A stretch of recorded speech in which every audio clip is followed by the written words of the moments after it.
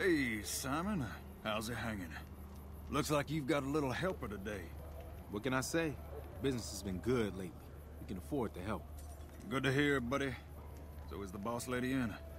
You know she is. Why don't you go in and say hi? Nah, I got some rounds to run.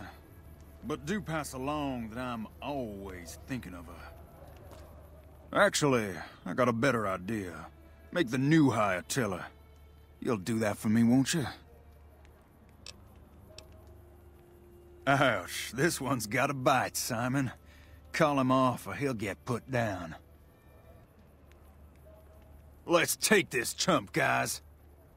You're whoa, dead, whoa, careful! Yeah, let's show him how kings rumble. Freeside is ours.